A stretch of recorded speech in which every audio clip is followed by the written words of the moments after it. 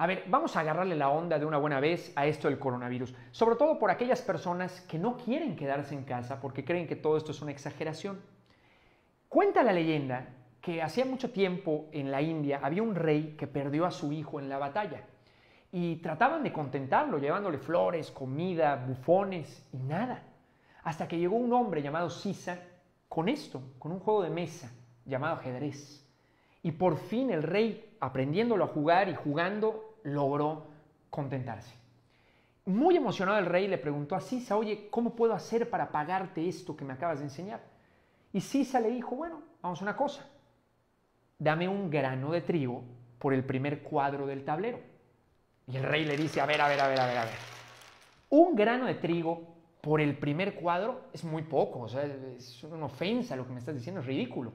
Y le dijo Sisa, bueno, dame un grano de trigo por el primer cuadro, dos por el segundo, cuatro por el tercero, ocho por el cuarto, ve duplica. Sí, sí, sí, ya entendí, ya entendí, le dice el rey. Voy duplicando los granos de trigo cada cuadro del tablero. Ya lo entendí, pero se me hace muy poco. Me estás pidiendo granos. O sea, pero bueno, eh, te agradezco mucho.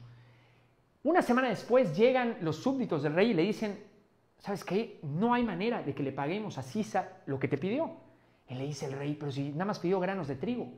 Le dicen, sí, pero la cantidad que pidió no la tenemos ni en nuestros graneros ni en todo el mundo.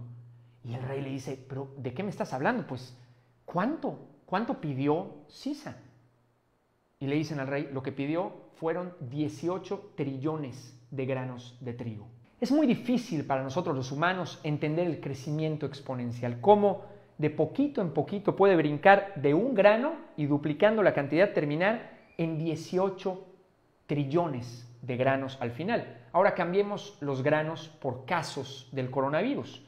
Es difícil de entender que por un caso en tu ciudad cancelen eventos públicos, eviten que los niños vayan a las escuelas, te digan que trabajes desde casa, te pidan que no vayas a esas vacaciones que ya pagaste y que te quedes, repito, en la casa sin salir siquiera a un restaurante. Es muy difícil de entenderlo, pero si comprendemos el crecimiento exponencial y vemos cómo un caso se convierte en dos y luego en cuatro y luego en ocho y luego en 18 trillones, pues ahora sí nos vamos a quedar en casa y cuidando a los demás. Yo trabajo como conferencista en eventos masivos.